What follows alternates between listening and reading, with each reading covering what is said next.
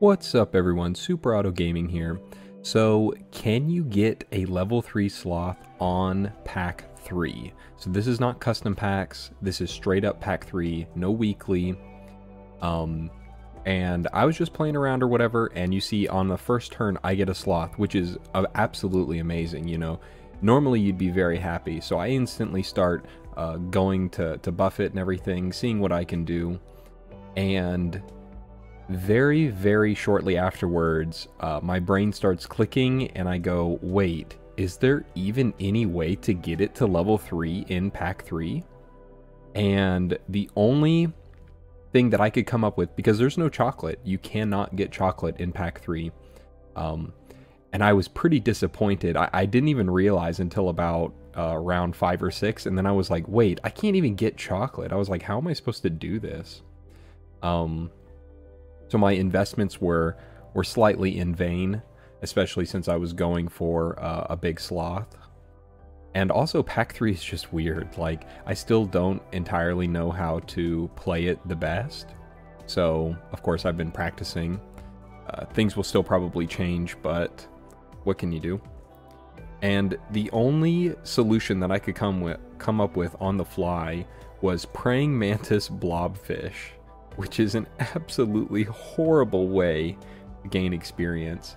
I guess like with the pug, you could get it in battle, but even then you you wouldn't be able to you wouldn't get the the ribbon for it or anything. And of course this is the test server, so it doesn't really matter too much. But I thought it'd be funny to to showcase it since I did see it, and I probably man, I, I feel like I haven't seen um yeah, like it, it the last time I had seen Sloth was, of course, my, my video that I, that I put up. Um, but before that, it was like 150 hours, and then boom, I just see it on the test server, probably like 20 or 30 hours in. So that was pretty cool. Um, but yeah, I was super distraught when I was like, wait, there's no way to get it. Um, so yeah, praying mantis blobfish does not seem like the most optimal way to do things. Um, and then I'm sure if pack or I'm sure if they didn't change stuff so much already, I could have done it. But with things being changed, um, not getting it to level three, but at least like trying to win the game. Uh, but with things changing so much, I just haven't been like, I guess, learning what what to actually do. Um, but ne- nevertheless, it was it was very funny to to see a sloth that early, especially on turn one. It's always super cool to see. But yeah, I pick up the blobfish here and I'm like, uh, how do I get praying mantis in here? So yeah, let like it just it just doesn't work.